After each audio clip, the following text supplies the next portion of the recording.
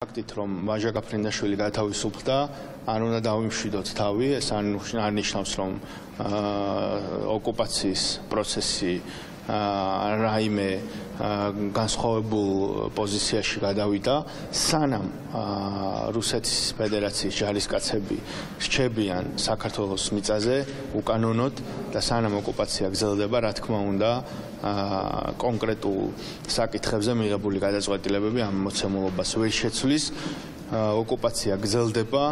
გადასასვლელი პუნქტების დაკეტვა თუ მათი გაღება, ადამიანების უკანონო დაპატიმრება კვლავ რჩება პრობლემად და ეს არის ოკუპაციის რეალურად საერთო სურათი, სადაც ორივე რეგიონში ჩვენ ხედავთ ადამიანის უფლებების და ჰუმანიტარული სიტუაციის გაუარესება.